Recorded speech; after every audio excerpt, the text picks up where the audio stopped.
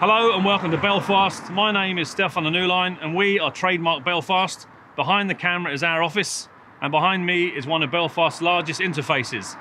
A physical and a very hard border that separates a predominantly Irish and Republican community from over this side, the British and Unionist community. And it's our job in part to challenge those narrow nationalisms and introduce a heavy dose of class politics.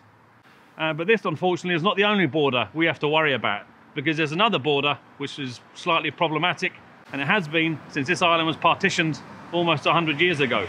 And that of course is the border between the north and south of Ireland or more formally between the Republic of Ireland and the United Kingdom and potentially in the next month or so between the United Kingdom and the European Union. However, because of the peace process and the Good Friday Agreement, that border is reasonably frictionless and almost invisible and you cannot underestimate how important the invisibility and the frictionless of that border is to the people of this island.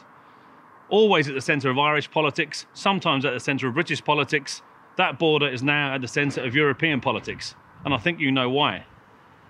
In response to Brexit, its impact here in Ireland, in Britain and across Europe, and of course in response to the ongoing and deep systemic crises within capitalism, I'm here to announce a new, small but perfectly formed initiative between the Rosa Luxemburg Foundation and Trademark Belfast in the guise of an online blog that will encompass articles, video segments and podcasts. Over the next 12 months we're going to be inviting grassroots left activists, journalists and political thinkers to contribute to a comradely debate about the future of the European Union, the Eurozone, electoralism and social movements, trade union and labour politics, alternative economic and political strategies, and of course the small task of building left power. Uh, we hope it's a useful contribution. We hope it's an enjoyable contribution. We hope you come along for the journey. And that's it, that's the pitch.